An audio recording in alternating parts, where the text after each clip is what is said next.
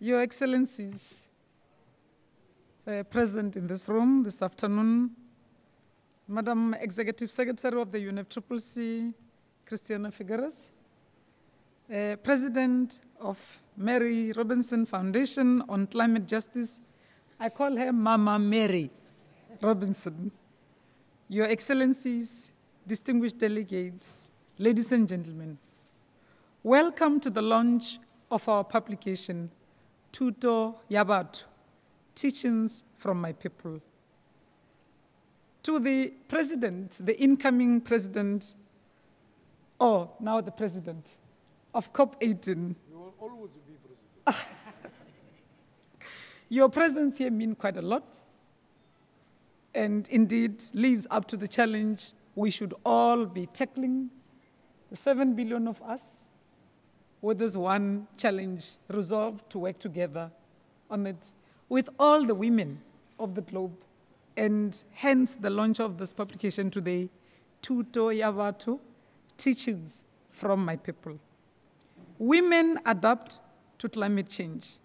On this special day that has been declared by the United Nations Framework Convention on Climate Change as Gender Day, so it's not an accident.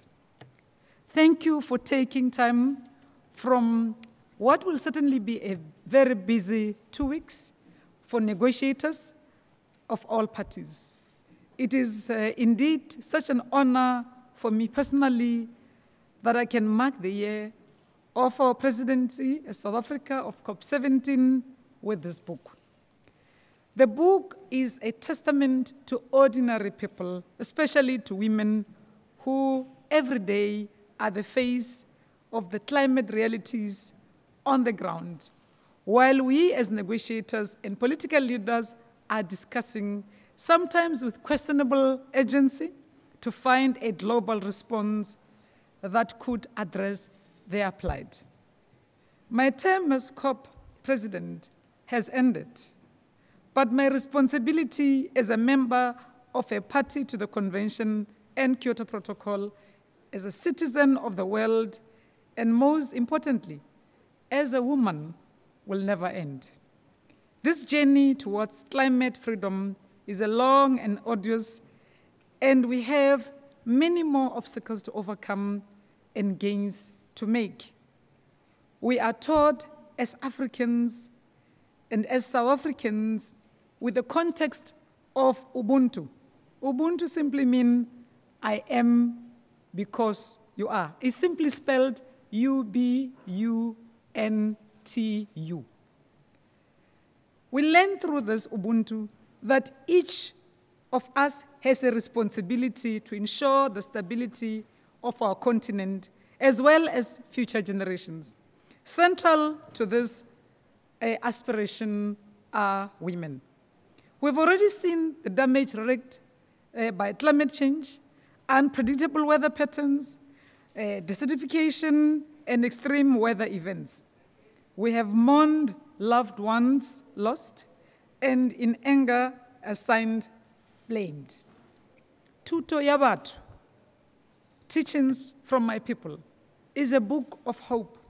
It is filled with inspiration, beginning with messages of hope from the Executive Secretary of the UNFCCC, Madam Christiana Figueres, and the President of the Mary Robinson Foundation on Climate uh, Justice, Mama Mary Robinson, who pushed us, who encouraged us, who do that all the time. I think she really deserves a round of applause.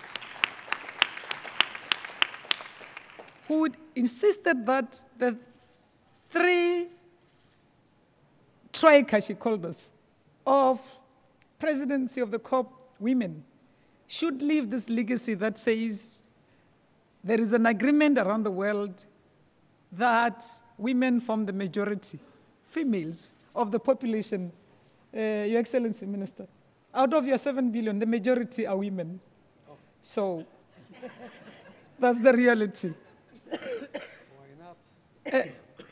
Both uh, these wonderful ladies stressed the importance of highlighting women's role in climate adaptation.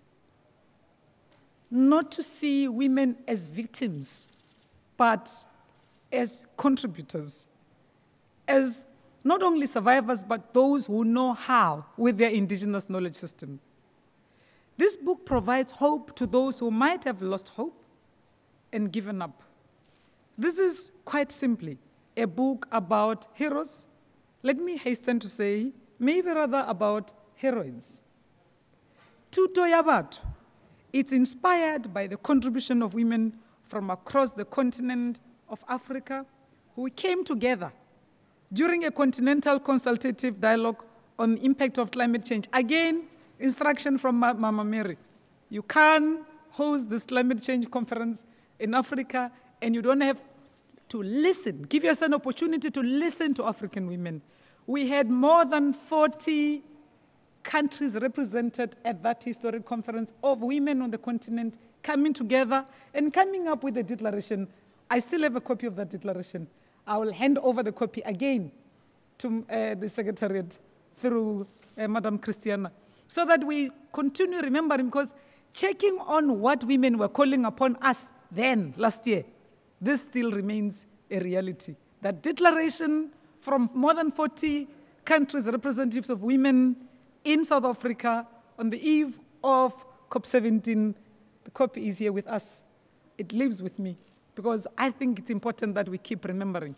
At that time, through the encouragements of Mama Mary, we also had a meeting on the sidelines of the, of the, uh, of the UN uh, General Assembly where we had to look at declarations from women from other parts of the world and all the regions of the world to say what is it that they expected of us.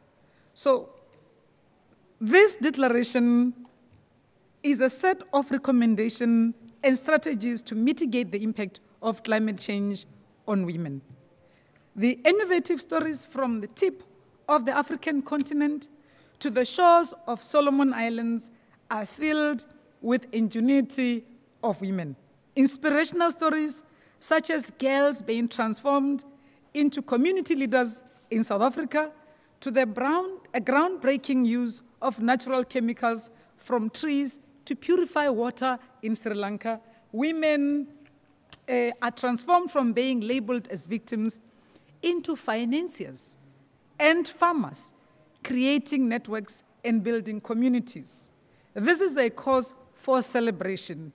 Looking at adaptation initiatives from around the developing world uh, show that women, as agents of social change, often hold the key. This is something that should be nurtured. As much as women have adapted and proven that uh, their worth in the developing world, more needs to be done and must be done. This initiative should not end here today. Instead, I hope that each COP president will seek to spread the word of the plight of millions of people that are affected by climate change.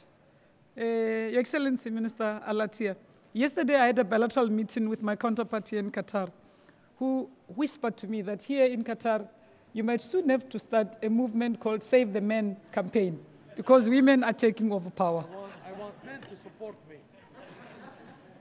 Gender is not a singular idea, nor is it limited to women. All are affected, and the contributions of each one is needed in order to overcome the challenge through climate change. Through this initiative, we acknowledge some of the remarkable steps taken by women under very difficult circumstances to deal with the harsh realities of the changing environment. I'm inspired by the courage and leadership of these women, and I'm honored to be able to tell their stories as examples of what women around the world are achieving daily.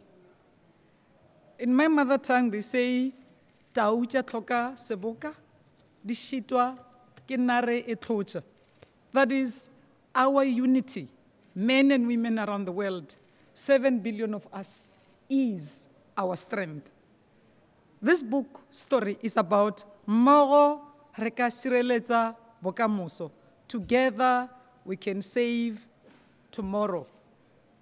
As we all join in in supporting the president of COP18 that indeed we all are saying, count me in on this global challenge of 7 billion people facing one challenge. Shukran.